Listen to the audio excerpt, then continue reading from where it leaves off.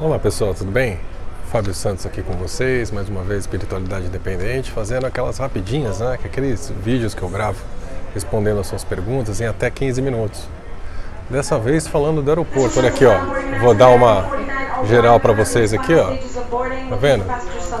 E hoje eu sabia que o alto-falante ia me atrapalhar, então trouxe a minha chinchila aqui para vocês poderem me escutar, tá bom? Então enquanto a gente está aqui é, quase entediado esperando o voo, eu vou fazendo as rapidinhas com vocês, tá bom? Hoje a gente vai falar de três assuntos. O primeiro assunto é um muito perguntado e as pessoas têm muitas dúvidas relacionadas à tecnologia, à tecnologia 5G. Então eu vou tentar explicar um pouquinho o que é a tecnologia de uma forma breve é, e quais as, as implicações dessa tecnologia e a gente pode discutir isso numa live também e nos cursos com certeza, né, no Despertar Galáctico. Primeiro que a tecnologia 5G ela é um passo à frente, obviamente, da, da tecnologia que está atualmente funcionando, que é a 4G, né, que ela já é muito mais rápida. Para quem lembra o celular como é que era 3G funcionava, né? Agora com 4G a gente já consegue baixar filme, ver filme no celular e tudo mais. Então o 5G ele vem para dar uma revolucionada nas velocidades da internet, como a gente funciona, né? como a internet funciona e a nossa relação com os nossos aparelhos, com a nossa casa e tudo mais. Só para ter uma ideia, é, a tecnologia 5G é aquela que vai viabilizar, por exemplo, um médico está num país, o paciente está no outro país e esse médico opera esse paciente através é, desse equipamento. Já vi alguns exemplos assim também. Essa conexão 5G pode ser feita dessa forma e tudo mais. É, além disso, é, o que é chamado internet das coisas, né? Por exemplo, toda a sua casa ligada à internet. Então, a sua geladeira, por exemplo, vê que está faltando leite, ela mesma já pede e o leite é entregue na sua casa, esse tipo de coisa assim, tá? Eu não vou me estender muito, mas acho que vocês já entenderam um pouco como a coisa funciona. O problema da tecnologia 5G, e aí eu estou falando ainda, eu não estou falando de espiritualidade ainda, tá? É, esses são os estudiosos. Tem, tem dois, dois é, problemas principais no que tange ciência mesmo. O primeiro é uma preocupação enorme dos governos quanto à espionagem. Já dizem que a Huawei, que é uma empresa chinesa, por exemplo, que uma das que, que estão desenvolvendo a tecnologia 5G, é, inclusive o Trump proibiu a Huawei de operar nos Estados Unidos. Está uma, tá uma confusão em relação a isso por causa da espionagem, porque quem, quem controla essa tecnologia controla a informação. Então eles têm uma grande preocupação em termos de é, vazamento de informação, ficar mais fácil invadir o aparelho das pessoas. Então você imagina um carro controlado pela internet, você invade o carro, faz ele bater. Gente, começa a pensar as possibilidades a partir do momento que a gente consegue controlar a internet das pessoas e ter informação da, da, das pessoas, né? E a segunda preocupação, ela já entra mais é, no nosso campo de atuação, e aí também é dos cientistas. Inclusive, eu vou postar aqui no, no, canal Espiritualidade Independente no Facebook uma reportagem da revista, se não me engano, Tecmundo, falando da preocupação dos cientistas e de um relatório que esses cientistas postaram em 2017, falando que a tecnologia 5G, em comparação com a 4G, ela opera com ondas que eles chamam de milimétricas. São ondas de, de curto alcance. Então, o que acontece? Para você conseguir fazer o 5G pegar em todos os lugares, você precisa de mais antenas, antenas mais próximas, entenderam? O 4G, por exemplo, vou dar só um número aqui, tá? É, no 4G, por exemplo, eu posso colocar uma antena a cada 5 km, tá? Estou dando um número arbitrário aqui. No 4G, você, no 5G, você tem que colocar uma antena a cada quilômetro. Você tem que colocar muito mais antenas no 5G do que no 4G. E no que isso acarreta? Acarreta na exposição, na maior exposição a ondas eletromagnéticas do corpo humano, causando câncer, causando disfunções é, das mais diversas. E a gente pode falar as dores de cabeça, mal, o mal-estar e tudo mais. Ou seja, você vai estar constantemente sendo bombardeado por essas ondas eletromagnéticas. E aí eu vou deixar com essa reportagem para esclarecer melhor vocês, eu vou postar aqui no Facebook. Para quem está no YouTube, por favor, pode procurar. É, e nessa reportagem eles comentam um pouco isso que eu estou falando. Obviamente que a repercussão espiritualista, aquela que a gente estuda aqui, é o quê? Eu acho que já deu para reparar, né? É, essa exposição maior ao eletromagnetismo causa todos esses problemas para o nosso corpo físico.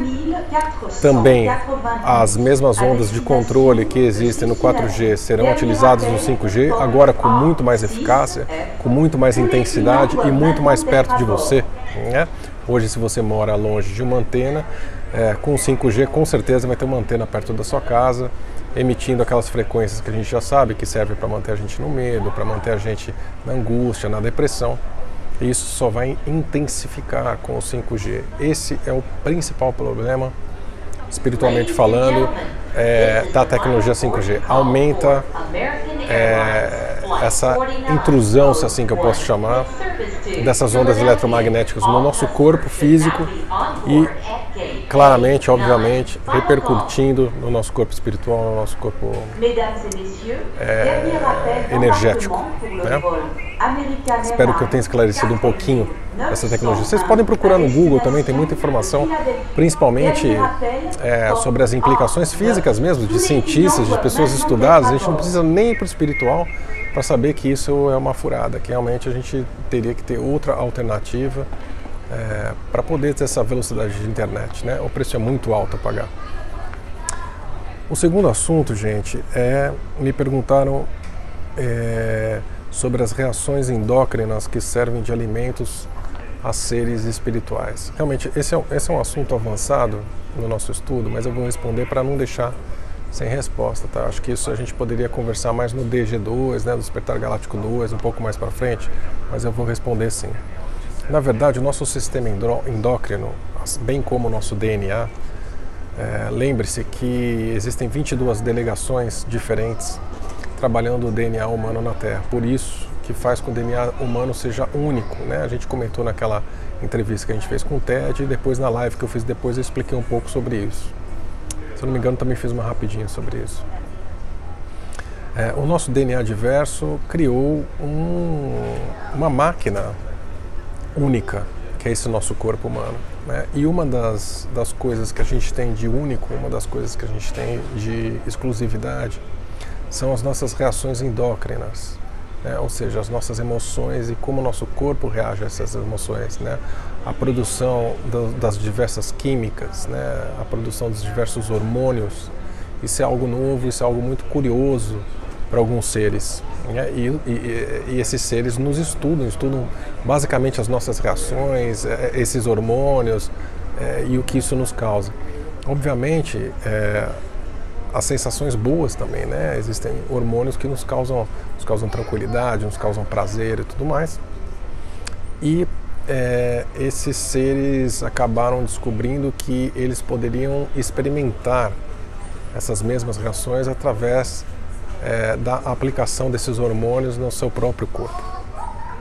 Então existe essa, digamos assim, esse vício físico desses seres, tá? Como se fossem drogados mesmo, é, injetando esses hormônios na própria pele, no próprio corpo e tendo um barato, né? Vamos fazer um paralelo aí com a heroína, fazer um paralelo com essas drogas injetáveis.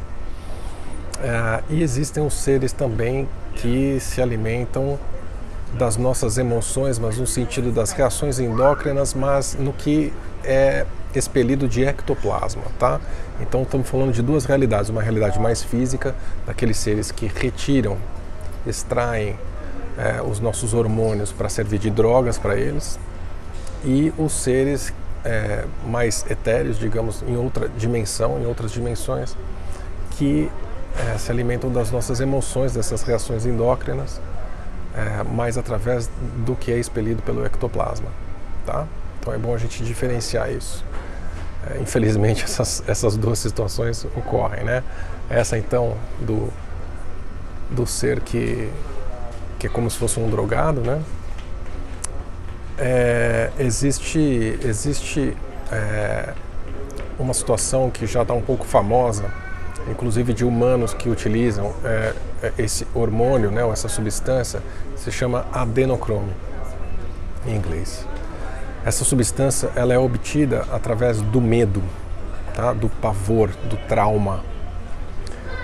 E é, esses humanos, com auxílio desses seres, retiram esse adenocrome das pessoas e injetam em si próprio. E é como se fosse uma droga e as pessoas ficam dependentes. Existem humanos dependentes, existem atores, cantores, pessoas famosas do entretenimento viciadas nisso. Né? Eles, eles é, pessoas que participam de rituais ditos satânicos e tudo mais. E essa substância mais pura é que vem a crueldade da coisa. Ela é retirada principalmente de crianças e de jovens, tá? Crianças e jovens são colocadas em situações de terror, em situações de medo, de pavor e produzem o pico dessa substância que é então retirada e injetada nesses seres é, humanos e não humanos que são viciados nessa nessa substância. Né? Enfim, vamos para o próximo assunto. A gente comenta mais sobre isso no curso Despertar Galáctico também, que a gente pode falar um pouco mais abertamente sobre essas coisas. A última pergunta é sobre a influência dos fractais em realidades paralelas. Então, na verdade, a pergunta foi mais assim: Poxa, Fábio, acontece alguma coisa com o meu fractal em alguma realidade paralela? É, me influencia aqui? Eu influencio esse fractal? Influencia sim, meu querido, minha querida. É, por isso é tão importante o nosso despertar aqui nessa dimensão, porque a gente não desperta só aqui, a gente desperta em realidades paralelas, a gente começa a despertar os outros fractais. E a gente sempre fala, né, que é, o seu principal guia pode ser você vindo do futuro para te resgatar, né? E na verdade é um fractal seu, né? A gente fala que é você porque vocês se encontram no eu sou, né?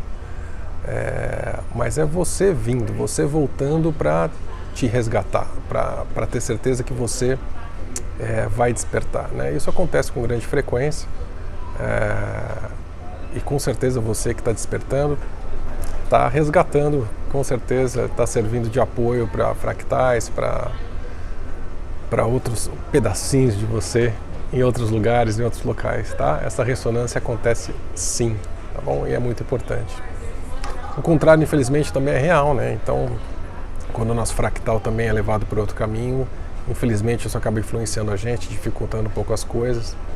Então, é, pela ressonância desse, porque são pedaços nossos, né? É, de uma forma assim leiga de falar, então acaba influenciando um, acaba influenciando o outro. Então a questão é bem complicada, tá? Então por isso que a gente tem que procurar despertar e não precisa nem se preocupar com isso, gente. A própria nossa própria vibração, nossa própria ressonância toma conta de despertar os outros fractais também. A gente quando vai dormir vai dar um vai servir de guia lá para eles também, tá bom, gente? Então essas foram as rapidinhas de hoje. Espero que vocês tenham gostado. É, para quem está me assistindo na quarta-feira, né? é, dia 7, se não me engano, né? 7 de, de agosto. Esse final de semana estou em São Paulo, né? Despertar Galáctico, sexta-feira na palestra com o TED, a outra semana com a palestra, depois o Despertar Galáctico em Curitiba. A agenda tá cheia, gente. Olha lá no meu site fabisantos.com, agenda, você vai saber onde eu tô, se você puder estar tá comigo, legal, me dá um toque. Vai ser um prazer conversar com vocês pessoalmente mais uma vez, tá bom? Um beijo, um abraço, gente. Até a próxima. Tchau, tchau.